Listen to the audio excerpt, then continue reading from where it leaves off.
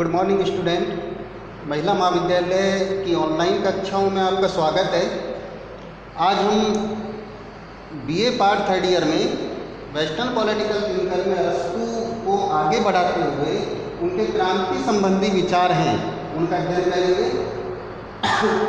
उसमें सबसे पहले अपन जानेंगे कि अरस्तु ने क्रांति का क्या अर्थ बताया है, जिसमें दो प्रकार के अर्थ आते हैं, एक तो सीमित अर्थ और दूसरा आता है व्यापक अर्थ। फिर हम क्रांति के प्रकार हैं, उनको देखेंगे। जो पाँच प्रकार उन्होंने क्रांति के बताए हैं और उसके पश्चात हम क्रांतियों के कारणों को देखेंगे। जो तीन प्रकार की क्रांतियों के कारण हैं, उन्होंने बताए हैं। और उनमें भी अलग अलग जो रीज़न है कि क्यों क्रांतियाँ होती हैं, उनके कारणों के बारे में अपन जानेंगे।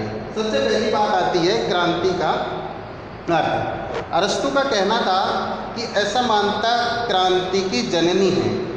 अर्थात जहाँ पर असमानता देखने को मिलती है, वहाँ पर निश्चित रूप से क्रांति को जन्म मिलता है। तो मूल कारण जो इसका होता है, वो असमानता का होता है। अर्थात जिस राज्य में असमानता हो, वहाँ पर क्रांति होना निश्चित है। यहाँ जो अरस्तु हैं, उनके क्रांति संबंधी विचार हैं, वो अन्य प्रकार की क्रांतियों से थोड़े से अलग हटकर हैं। अरस्तु ने जो क्रांति से संबंधित तात्पर्य लिया है या अर्थ लिया है, वो उसमें उन्होंने कहा है कि क्रांति से तात्पर्य हमारा ये नहीं है कि जैसे रसिया की क्रांति हुई, फ्रांस की क्रांति हुई, अमेरिका की क्रांति हुई, इनसे हम ऐसा अर्थ नहीं ले सकते कि इनको क्रांति कहा जाए। अभी तो अरस्तु का ये कहना था कि जब भी संविधान में किसी प्रकार का कोई छोटा बड़ा परिवर्तन होता है तो उस परिवर्तन को उन्होंने क्रांति की संज्ञा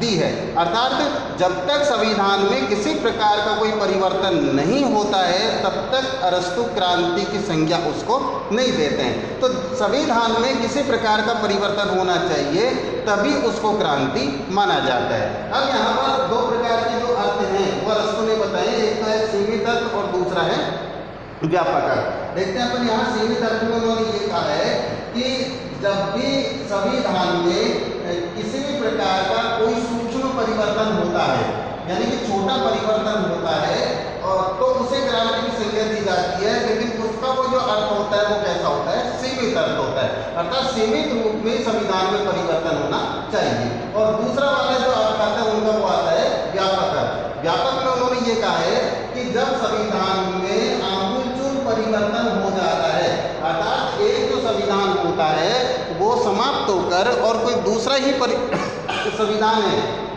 वो बन जाता है तो हम ये कहेंगे कि वास्तव में वो व्यापक क्रांति है और उसमें पूरी तरीके से संविधान में परिवर्तन हुआ है। तो इस रूप में अरस्तु ने क्रांति के दो अर्थ बताए हैं, जब संविधान में सूक्ष्म परिवर्तन हो तो सीमित क्रांति और जब संविधान में व्यापक परिवर्तन हो या मूलचूल परिवर्तन हो तो व्यापक क्रांति।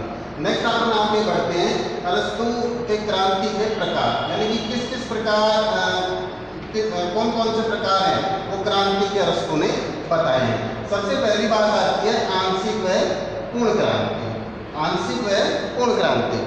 अरस्तु का कहना कि आंशिक क्रांति से तात्पर्य होता है कि जब संविधान में, संविधान के एक छोटे भाग में कोई परिवर्तन होता है जब संविधान में किसी एक भाग में एक छोटे भाग में परिवर्तन होता है तो वो आंशिक क्रांति होती है। और जब संविधान में पूर्ण परिवर्तन होता है या आमूलचूल परिवर्तन होता है या संविधान के एक बड़े भाग में किसी प्रकार का परिवर्तन होता है तो उसे उन्होंने पूर्ण क्रांति की संज्ञा प्रदान की है। दूसरा जो प्रकार आता है, उनका वो आता है रक्तपूर्ण व रक्तहीन क्रांति। अरस्तु का यहाँ ये कहना कि जब कभी भी सशस्त्र विद्रोह के द्वारा या हिंसा के द्वारा किसी प्रकार का संविधान में परिवर्तन होता हो इस बात को आप बिल्कुल ध्यान रखिएगा कि परिवर्तन संविधान में ही होना चाहिए तभी उसे क्रांति की संज्ञा देते हैं। तो जब संविधान में सशस्त्र विद्रोह के आधार पर परिवर्तन होता है या, या हिंसा के माध्यम से किसी प्रकार का परिवर्तन होता है तो उसे वो रक्तपूर्ण क्रांति कहते हैं। दूसरा बात आती है यहाँ पर रक्तहीन क्रांति। जब संविधान में शांतिपूर्ण तरीके से किसी प्रकार का परिवर्तन हो जाता हो तो फिर उसे अरस्तु रक्तहीन क्रांति की संज्ञा प्रदान करते हैं। नेक्स्ट बात आती है इसमें, व्यक्तिगत व गैर व्यक्तिगत क्रांति। जब किसी संविधान के द्वारा किसी प्रकार का कोई पद बना रखा है और उस पदधारी व्यक्ति के संदर्भ में किसी प्रकार का संविधान में परिवर्तन होता है तो फिर उसे व्यक्तिगत क्रांति कहा जाता है। क्योंकि उस व्यक्ति विशेष के विरुद्ध किसी प्रकार का संविधान में परिवर्तन हुआ है तो वो व्यक्तिगत क्रांति होगी। और जब संविधान में सर्वहित के लिए किसी भी प्रकार का परिवर्तन किया जाता है तो उसे गैर व्यक्तिगत क्रांति कहा जाता है। अर्थात किसी व्यक्ति विशेष के विरुद्ध परिवर्तन न करके और संविधान में सभी के लिए परिवर्तन किया जाता है तो उसे गैर व्यक्तिगत क्रांति कहा जाता है। नेक्स्ट बात आती है, वर्ग विशेष के विरुद्ध क्रांति। जैसा अपन ने कल उनके संविधान संबंधी जो विचार हैं, उनका अध्ययन किया था, कई प्रकार के वर्ग होते हैं। जैसे धनिक वर्ग हो गया कुलीन वर्ग हो गया, अल्प वर्ग हो गया, आदि जो वर्ग होते हैं, जो शासन सत्ता संभाले हुए रखते हैं, अब मान लो धनिकों के हाथ में शासन है और फिर धनिकों के विरुद्ध संविधान में किसी प्रकार का परिवर्तन होकर और परिवर्तन किया जाए तो फिर उसे एक वर्ग विशेष के विरुद्ध क्रांति कहा जाता है, क्योंकि ये एक वर्ग विशेष के विरुद्ध परिवर्तन हुआ है। तो उस स्थिति में किसी भी वर्ग विशेष के लिए संविधान में कोई परिवर्तन किया जाता है तो उसे वर्ग विशेष के विरुद्ध क्रांति कहा जाता है। नेक्स्ट बात आती है इसमें, वैचारिक क्रांति। वैचारिक क्रांति से तात्पर्य होता है कि मान लो जब कोई एक व्यक्ति होता है और या नेतागण होता है, या कोई वक्ता होता है, और वो वक्ता, नेतागण या व्यक्ति अपने विचारों के माध्यम से, ओजस्वी भाषणों के माध्यम से, यानी कि वो किसी प्रकार का कोई भाषण दे और फिर वो जो भाषण है, उसके माध्यम से किसी भी प्रकार से संविधान में परिवर्तन करने की बात आ जाए यानी कि वो अपने उद्देश्य भाषणों के माध्यम से जनता को ऐसा कर देता है कि इस प्रकार का परिवर्तन होना ही चाहिए, या अपना जो विचार है, उसको वो ऐसा प्रेषित कर देता है जनता में कि जनता उनके विचारों से सहमत हो जाती है। तो जब विचारों के द्वारा किसी प्रकार का कोई परिवर्तन आ जाता है, या भाषणों के द्वारा किसी प्रकार का कोई परिवर्तन आता है तो उसे वैचारिक क्रांति कहा जाता है। तो इस प्रकार से जो अरस्तु हैं, उन्होंने क्रांति के पाँच प्रकार बताए हैं और इनमें सभी में जो संविधान है, उसमें परिवर्तन होना चाहिए। इस रूप में जो अरस्तु है, उन्होंने क्रांति का अर्थ, क्रांति का सामान्य अर्थ और क्रांति का विशेष अर्थ और ये पाँच जो प्रकार हैं क्रांति के, वो अरस्तु के द्वारा बताए गए हैं। नेक्स्ट जो अपन हैं, अरस्तु के बारे में स्टडी करेंगे, वो है क्रांतियों के कारण। क्रांतियों के कारणों को हम तीन भागों में देखेंगे, जो अरस्तु ने बताए हैं। कि क्रांति क्यों होती है? इसके पीछे तीन प्रकार के मुख्य रीजन होते हैं, तीन प्रकार के मुख्य कारण होते हैं। पहली बात आती है क्रांतियों के मूल कारण। दूसरी आती है क्रांतियों के सामान्य कारण, और तीसरी वाली बात आती है विशेष शासन व्यवस्थाओं में क्रांतियों के विशेष कारण। हम सबसे पहले यहाँ पर क्रांतियों के मूल कारणों को देखेंगे कि मूल कारण किस प्रकार का होता है। यहाँ पर दो प्रकार की जो बातें हैं मूल कारणों में, वो अरस्तु ने बताई है कि एक तो होती है यहाँ पर संख्यात्मक योग्यता।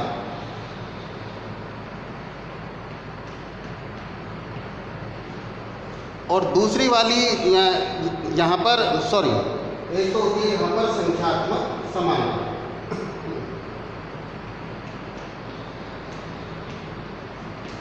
और जो दूसरी वाली समानता होती है, वो होती है योग्यता संबंधी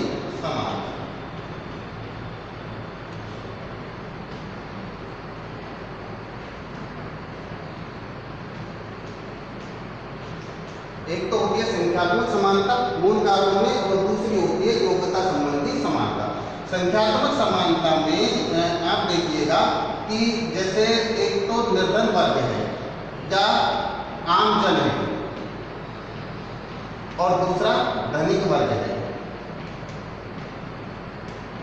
अब देखा जाता है कि संख्या में जो निर्धन या आमजन होता है, वो ज़्यादा होता है, और जो धनिक होते हैं, वो कम होते हैं। ऐसी स्थिति में जब किसी राज्य का शासक है आम जन के वर्ग में कानून बनाए, आम जन के हितों को ज़्यादा ध्यान दे और वो धनिक वर्ग के हितों को ज़्यादा ध्यान नहीं देता है तो ऐसी स्थिति में ये संख्या में कम होते हैं, लेकिन संख्या में ये सुदृढ़ होते हैं, इस वजह से वो शासक के विरुद्ध क्रांति कर देते हैं और फिर वहाँ पर क्रांति हो जाती है। तो संख्यात्मक क्रांति से तात्पर्य कि जब संख्या में लोग ज़्यादा होते हैं, लेकिन वो इतने पावरफुल नहीं होते हैं उनकी एवज में ज़्यादा काम किया जाता है उनके लिए ज़्यादा कार्य किया जाता है, निर्णय लिया जाता है, कानून बनाए जाते हैं तो फिर वो दूसरा वर्ग है, वो उनके विरुद्ध क्रांति कर देता है।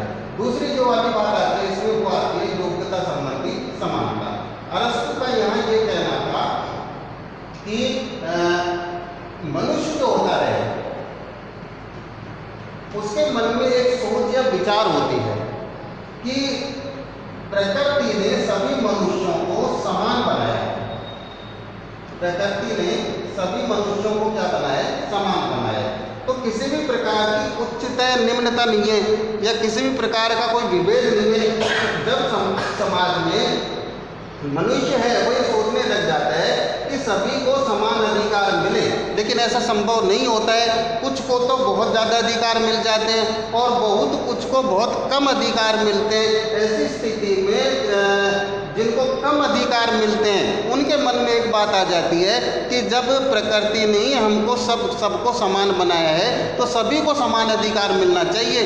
और जब सभी को समान अधिकार नहीं मिलते हैं तो ऐसी स्थिति में वो लोग फिर क्रांति को जन्म दे देते हैं। तो ऐसी स्थिति में यहाँ दो प्रकार की बातें हैं, वो मूल कारणों में आती है। एक तो संख्यात्मक समानता से संबंधित और दूसरी आती है योग्यता संबंधी समानता। तो यहाँ इस प्रकार से जो क्रांतियाँ हैं, उनको जन्म मिल जाता है। दूसरा वाला जो अपन कारण देखेंगे, वो है क्रांतियों के सामान्य कारण। यहाँ पे देखिएगा, अरस्तु ने क्रांतियों के जो सामान्य कारण हैं, वो काफ़ी बताए हैं। और किस किस प्रकार की स्थितियाँ होती हैं, जिनसे क्रांतियों को जन्म मिल जाता है। सबसे पहली जो बात बताई है अरस्तु ने, वो है शासकों की दुष्टता।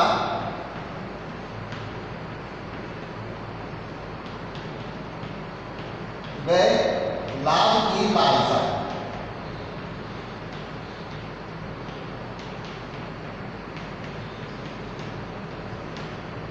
शासकों की दुष्टता व लाभ की लालसा यहाँ अरस्तु क्या कहते हैं कि जो शासक होता है वो पद पर रहकर हमेशा अपने लाभ को देखता है। वो आम जन के लाभ को नहीं देखता, यानी कि जब शासक अपने स्वार्थ में लिप्त हो जाता है या अपने ही लाभ को देखने लग जाता है, या शासक के पद पर बैठकर आम जन है, उसके प्रति ध्यान न देकर दुष्ट आचरण करने लग जाता है तो आम जन है वो उस शासक के विरुद्ध क्रांति कर देता है और ये देखता है कि ये शासक को चाहिए, तब वहाँ पर क्रांति को जन्म मिल जाता है।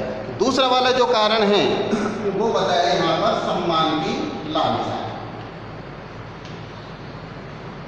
जहाँ पे रस्तु ने ये कहा है कि हम राज्यों में देखते हैं जो जनता रहती है तो सम्मान पाने की लालसा हर किसी को रहती है। हर कोई इंसान चाहता है कि उसको सम्मान मिलना ही चाहिए।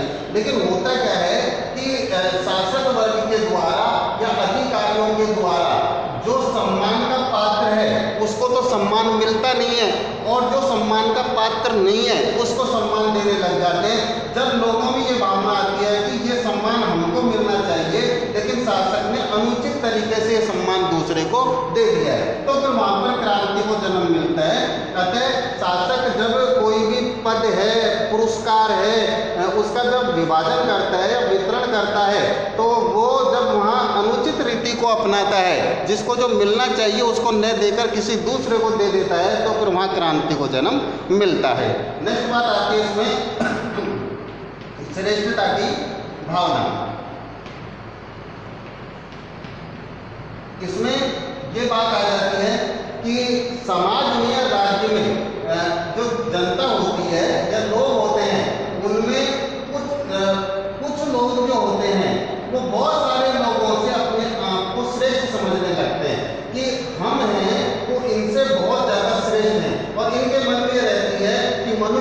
सम्मान में कई असर रखते तो ऐसी स्थिति में इनमें जब श्रेष्ठता की भावना आ जाती है, ये इनके अनदेखी करने लग जाते हैं तो ये इनके विरुद्ध क्या कर देते हैं? क्रांति कर देते हैं। तो श्रेष्ठता की जो भावना है, वो भी क्रांति को जन्म दे देती है।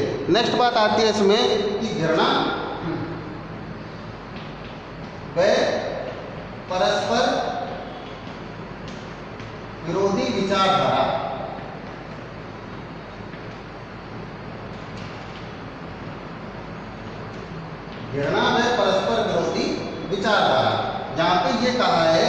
जब एक वर्ग दूसरे वर्ग से किसी प्रकार की घृणा करने लग जाता है तो वहाँ पर भी क्रांति को जन्म मिलता है। जैसे धनिक वर्ग है और निर्धन वर्ग है तो धनिक वर्ग तो निर्धनों से घृणा करेगा और निर्धन वर्ग है वो धनिक, धनिकों से घृणा करेगा।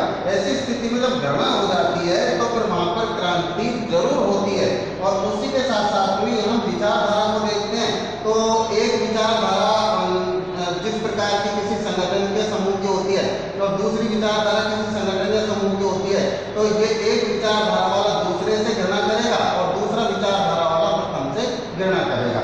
जैसे इसको हम वर्तमान परिप्रेक्ष्य में समझते हैं कि हम जैसे भारत को उदाहरण दें तो भारत में दो राजनीतिक दल हैं और दोनों ही राजनीतिक दलों में हम देखें कि जो बीजेपी है, वो तो कांग्रेस से घृणा करती है और कांग्रेस वो बीजेपी घृणा करती है। उसी प्रकार से हम द्वितीय विश्व युद्ध के दौरान देखते हैं। तो द्वितीय विश्व युद्ध में दो प्रकार की जो विचारधाराएँ हैं, वो आमने सामने हो गई थी।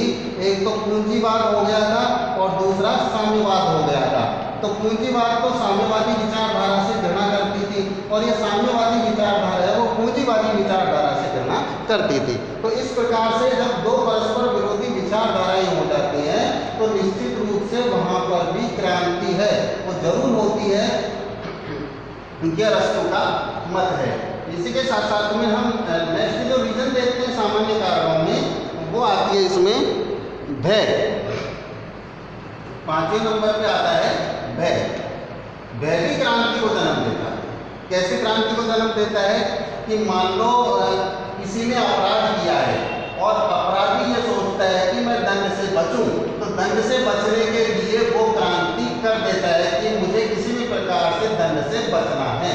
इस वजह से वो क्या कर देता है? क्रांति कर देता है। तो वह क्रांति को जन्म देता है। और दूसरा वाला इसके अंदर जो कारण बताया उन्होंने, वो ये बताया है कि मान लो कुछ व्यक्तियों के मन में ये भावना आ जाए कि हमारे साथ में तो अन्याय होने वाला है। यानी कि भावना उनके मन में आई जाए कि हमारे साथ में अन्याय होने वाला है। तो उनको क्या है ऐसा? है कि हमारे साथ में अन्याय होने वाला है। तो अन्याय होने वाले की जो भावना होती है, भय होता है वो भी क्रांति को जन्म दे देता है। तो भय दो प्रकार से क्रांति को जन्म दे देता है। अपराधी को दंड से बचने के लिए क्रांति को जन्म दे देता है और कुछ लोग ये सोचते हैं कि अन्याय होने वाला है तो वो भी क्रांति को जन्म दे देते हैं। नेक्स्ट बात जो इसमें आती है, वो आती है जातियों की विभिन्नता। देखो, किसी राज्य में जब एक समान जाति के लोग होते हैं तो वहाँ क्रांति होने के चांस है वो नए के बराबर हो जाते हैं। लेकिन जब एक ही राज्य में विभिन्न प्रकार की जातियों के लोग रहते हैं तो फिर उनमें परस्पर है वो आपसी विवेक देखने को मिलता है वहाँ भेदभाव देखने को मिलता है और जब एक जाति के लोग दूसरे जाति के लोगों से भेदभाव करते हैं तो ऐसी स्थिति में वहाँ पर फिर क्रांति को जन्म मिलता है। यानी कि जो जातियों की विभिन्नता होती है, वो भी निश्चित रूप से क्रांति को जन्म दे देती है। नेक्स्ट जो रीजन बताया है अरस्तु ने, उसमें है, राज्य के एक अंग की अनुपात से अधिक वृद्धि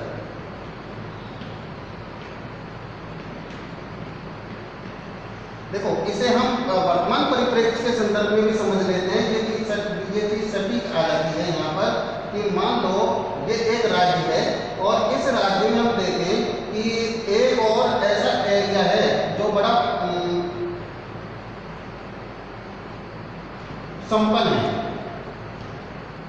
और दूसरा वाला है, वहाँ पर संपन्नता नहीं है किसी भी प्रकार की या निर्धन है। तो यहाँ हुआ क्या है? हुआ ये है भेदभाव इसमें कि इस एरिया पर तो जो शासक है या सरकार है उसने ज़्यादा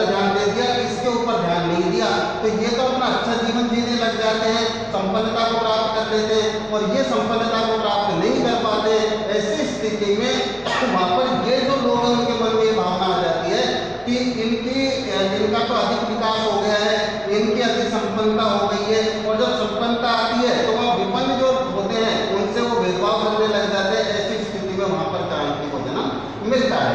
तो यहाँ पर ये कहा है कि जब किसी राज्य के एक अंग की अनुपात से अधिक जाती है तो फिर वहाँ पर भी क्रांति को जन्म मिलता है। नेक्स्ट बात आती है इसमें निर्वाचन संबंधी षड्यंत्र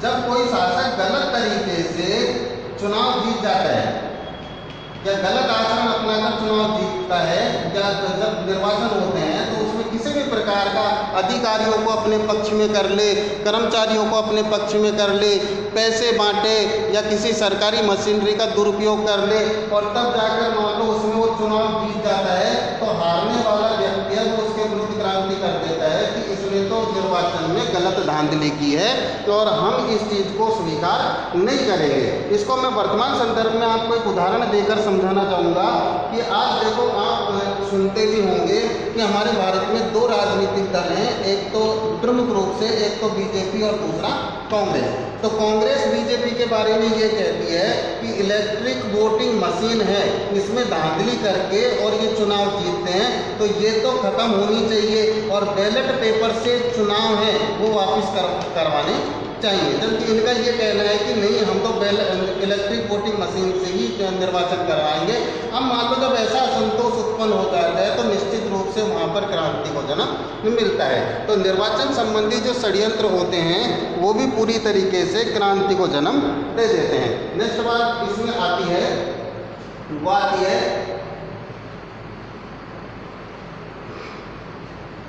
अरस्तु के अनुसार जो सामान्य कारण हैं उनमें नेक्स्ट जो रीजन बताया है उन्होंने, वो आता है इसमें शासक वर्ग की असावधानी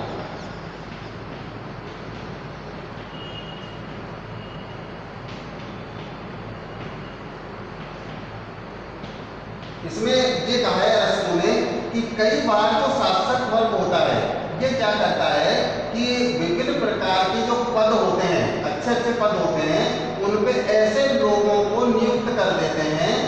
लोग ऊपर से देखने में तो ऐसे होते हैं कि ये शासक के ही विश्वास पात्र हैं।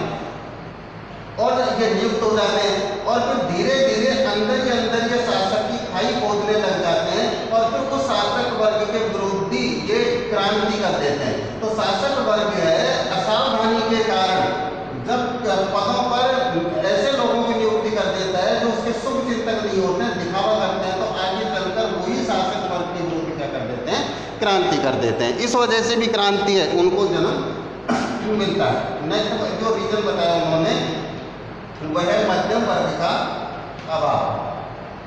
देखो, समाज में प्रमुख रूप से एक वर्ग, उच्च वर्ग। दूसरा जो वर्ग है, वो निर्धन वर्ग। अगर समाज में केवल उच्च और निर्धन वर्ग ही रहे तो ये जो उच्च वर्ग है वो निर्धन वर्ग से हमेशा घृणा करेगा और जो निर्धन वर्ग है।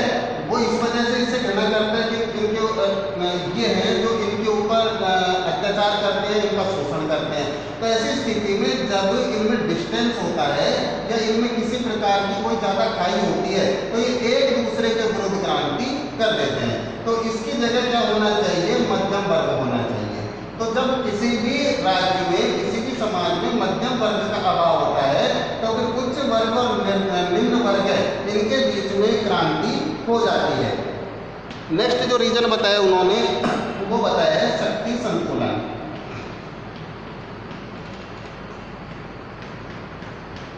जहाँ रश्मि का ये कहना है कि जो शक्ति संतुलन है, वो भी क्रांति को जन्म दे देता है।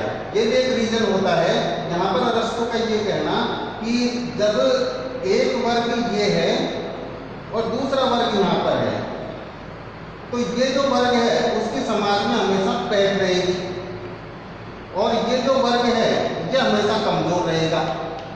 इस रूप में क्या होगा कि हमेशा जो निम्न वर्ग है, ये सोचेगा कि भाई हम इनसे काफ़ी नीचे हैं और अभी हम इनके विरुद्ध किसी प्रकार की सीधे सीधे कोई क्रांति नहीं कर सकते। तो यहाँ तो उस स्थिति में क्रांति नहीं होती है। लेकिन जब समाज में ये मान लो कोई भी निर्धन नहीं होता है और एक समान ही होता है, मान लो ये भी उच्च वर्ग है, ये भी उच्च वर्ग का है, ये भी उच्च वर्ग का है तो फिर ये सब सारे के सारे बराबर की शक्ति में होते हैं। ऐसी स्थिति में वहाँ पर ये सोच लेते हैं कि ये ये वाला ये सोचता है कि मैं भी इसके बराबर हूँ, मैं भी इसके बराबर हूँ। और जब वो बराबरी की भावना यहाँ पर पूरी तरीके से आ जाती है, क्योंकि शक्ति का जो संतुलन है, वो समान तरीके से यहाँ पर हो जाता है और विभिन्न तरीके से नहीं होता तो ऐसी स्थिति में भी क्रांति को जन्म मिल जाता है। तो यहाँ पर जो शक्ति संतुलन है, इसके आधार पर भी क्रांति है, उसको जन्म मिलता है। नेक्स्ट बात आती है इसमें विदेशियों का बाहुल्य विदेशियों का बाहुल्य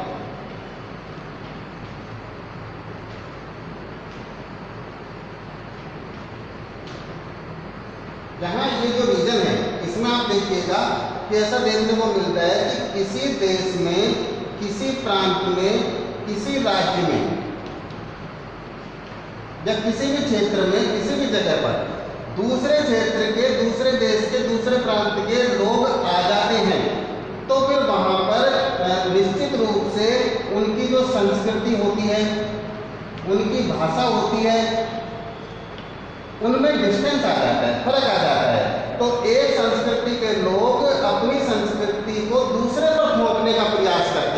तो अपनी संस्कृति है, उसको वो अच्छा साबित करने की कोशिश करते हैं। तो दूसरी संस्कृति वाले और पहली संस्कृति वाले, इन दोनों की संस्कृति में जब टकराव उत्पन्न हो जाते हैं तो वहाँ पर क्रांति को जन्म मिलता है। अब जैसे मैं आपको इसको भी उस रूप में आपको समझाऊं तो वर्तमान में हमारे भारत के साथ में ऐसा हुआ है। उदाहरण देखिए कि जो भारत था,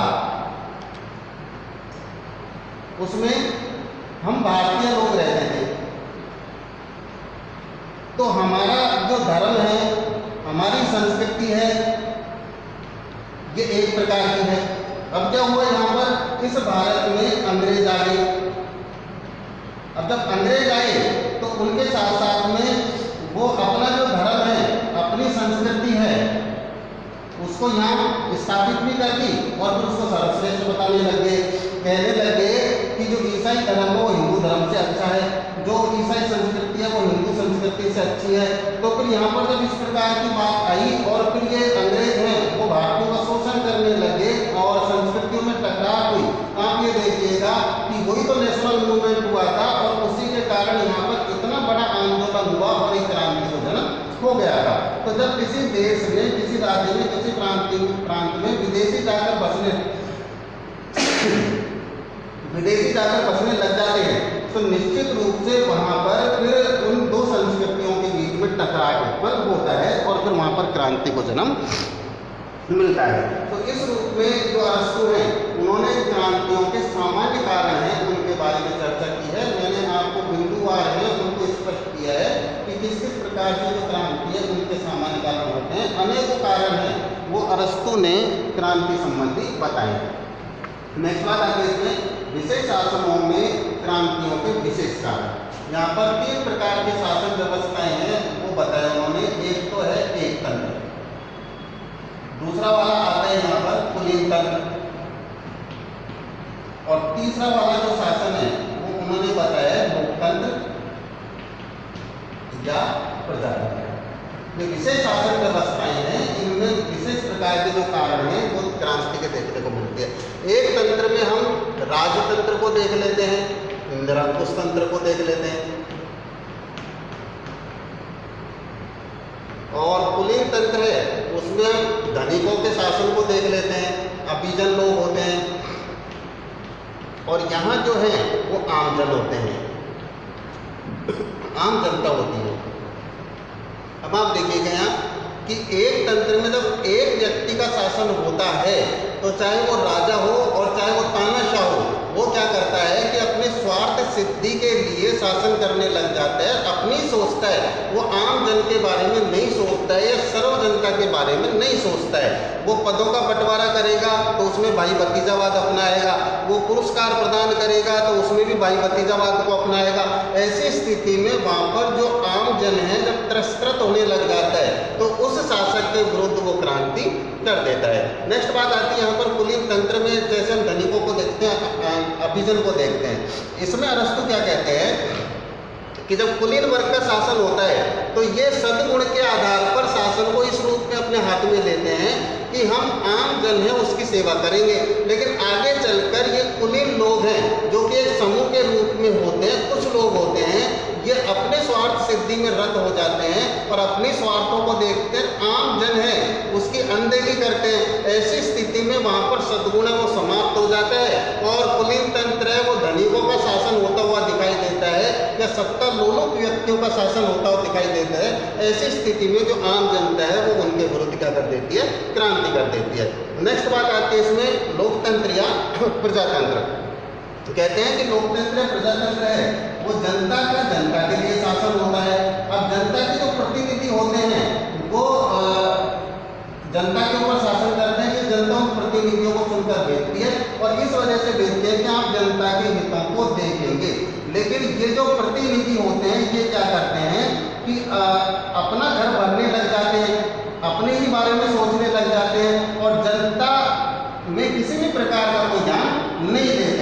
ऐसी स्थिति में यहाँ पर जो प्रतिनिधि होते हैं, वो अपने आप को अमीर बना लेते हैं और गौरव से श्रेष्ठ बन जाते हैं। और आम जनता है, वो निर्धन होती जाती है, उनका शोषण होता जाता है। जब आम जनता है, वो इस लोकतंत्र में ऐसे जो प्रतिनिधि होते हैं, उनके विरोध क्रांति कर देते हैं। तो दूसरा इसमें एक रीजन ये भी आता है कि मान लो, निर्धन वर्ग है वो प्रतिनिधि बन जाते हैं लेकिन निर्धन वर्गों निर्धन वर्ग है उसकी सोच ये हो जाती है कि हमको गरीबों के लिए ही ज़्यादा से ज़्यादा कार्य करना है जब ये गरीबों के लिए कानून बनाने लग जाते हैं निर्धन वर्ग के लिए कानून बनाने लग जाते हैं और एक जो उच्च वर्ग होता है उसकी ये अनदेखी करने लग जाते हैं तो ऐसी स्थिति में जो उच्च वर्ग होता है ना वो भी निर्धन वर्ग के विरुद्ध क्या कर देता है क्रांति कर देता है तो ये चीज़ है वो पूरी तरीके से देखने को मिलती है यहाँ पर हमने जो अरस्तु हैं उन्होंने क्रांति के किस किस प्रकार के कारणों को उन्होंने बताया था उनका अर्थ हमने देखा, पाँच प्रकार उन्होंने क्रांतियों के बताए थे। फिर क्रांतियों के कारणों में, क्रांतियों के मूल कारणों को हमने देखा, सामान्य कारणों को हमने देखा और विशेष शासन व्यवस्थाओं में इसमें एक तंत्र कुलीन तंत्र और लोकतंत्र में उनके क्रांति के कारणों को देखा। आप निरंतर अध्ययन करते रहिएगा। धन्यवाद।